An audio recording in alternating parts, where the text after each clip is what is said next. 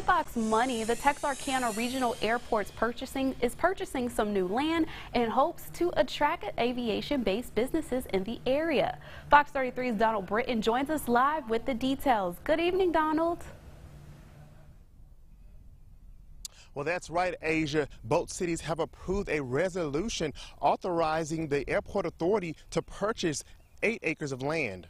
The undeveloped land is located between the airport's property and East 19th Street. A new business on the land would not only have access to the runway, but also easy access to Interstate 49.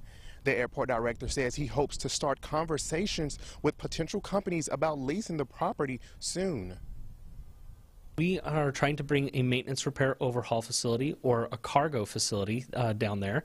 Uh, there's potential that it could bring 150 jobs to the community, and these jobs tend to pay around $50,000, so that can have a substantial impact on the local community from the economic side.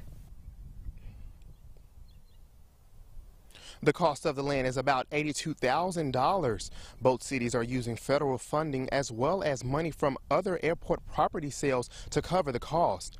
A new terminal building is also being is in construction and is, is expected to be completed in 2024. Reporting live in Texarkana, Donald Britton, Fox 33 News. Thanks, Donald.